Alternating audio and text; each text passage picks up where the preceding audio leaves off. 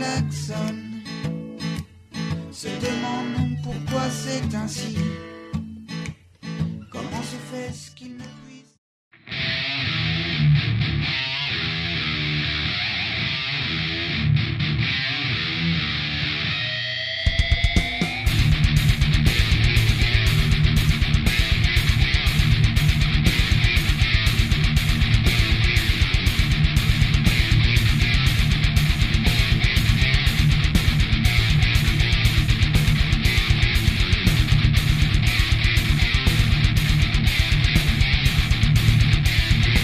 Bienvenidos amigos, hoy vamos a probar el PC Agot, un pedal de alta ganancia orientado al heavy metal fabricado por la firma danesa EMA Electronics.